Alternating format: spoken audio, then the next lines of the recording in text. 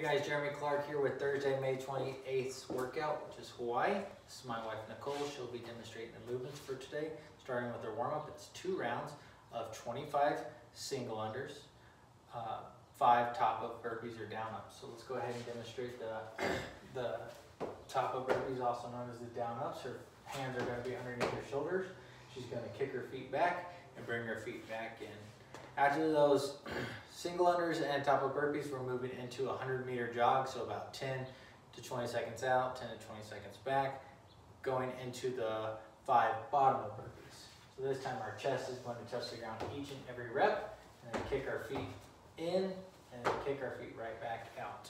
After those five bottom of burpees, we have another 100 meter jog, and then five full burpees. So now chest is touching the ground, kicking our feet up and jumping at the top of each and every rep. Then lastly, we're finishing off with 25 more single unders. So remember on those single unders, keep those elbows in. It's all in the wrists.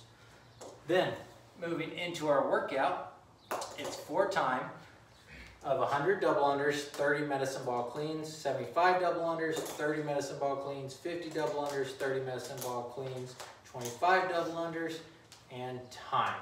Now the two uh, items that you need for this workout is a jump rope and a medicine ball. Guys prescribed weight is 20 pounds and for ladies is 14 pounds. Let's go through the double under real quick. Her rope is going underneath her two times for every single jump. She's keeping those elbows in, snapping her wrist, and she's jumping softly and landing in the same spot for each and every rep.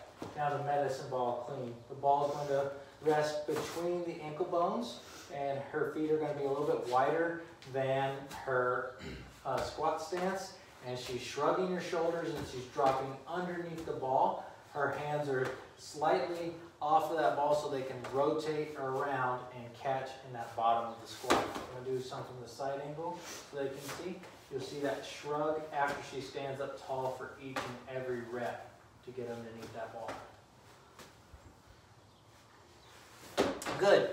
After the workout, you'll be doing your core crusher of 100 double knee tuck-ups in the plank position. So your hands will be underneath your shoulders, your feet out back, and you're bringing both feet in for each and every rep. After that, you're going into our cool down, which is a reclining twist pose, one minute on each side. So if you have a gymnastics mat or a yoga mat, go ahead and lay that out. You're gonna lay flat and then you're gonna bring one leg up and over your body and feel that good twist in your backside and hold that and then switch to the next side for one minute. And then lastly, you have three minutes in the corpse pose, which is laying flat on your back and palms facing up and just a good relaxing way to finish a great workout. Our weekly challenge is to make your bed. So let's go ahead and get on that and enjoy today's workout.